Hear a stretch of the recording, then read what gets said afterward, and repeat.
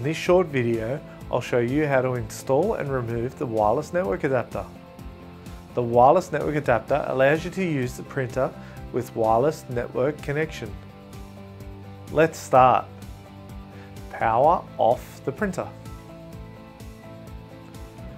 To remove the wireless network adapter port cover, press down on the latch and then pull it away from the printer. Remove the packaging from the wireless network adapter. To install the wireless network adapter, match the adapter's plug configuration to the socket configuration on the printer and carefully push until you hear the adapter click into place. Power on the printer. Pulling on the adapter can damage it, so once installed, remove it only as needed by following this procedure. Power off the printer.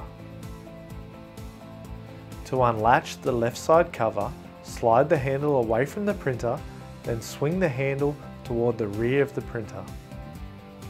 To remove the cover, slide it towards the rear of the printer, then away from the printer. Reach into the printer and push the release lever toward the front of the printer. Hold the release lever in this position and gently pull the wireless network adapter away from the printer. Do not use force to pull on the wireless network adapter. If the latch is released properly, the adapter pulls out easily.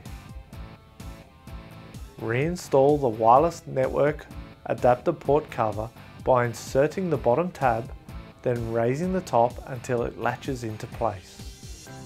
Place the left side cover into place and then slide it towards the front of the printer. To latch the cover, swing the handle toward the front of the printer, then push the handle in until it clicks into the locked position. Power the printer on. And that's it.